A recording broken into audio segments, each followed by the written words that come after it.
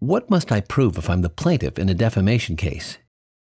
If you are the plaintiff in a defamation case, it first depends upon whether or not you are a public figure or a private figure.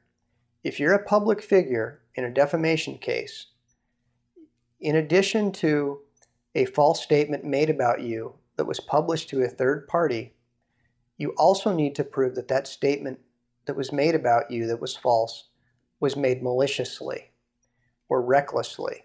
If you are a private figure, all you need to prove is that false statement was made about you negligently. But additionally, you still have to prove that you were damaged. Sometimes this is a very difficult burden to prove.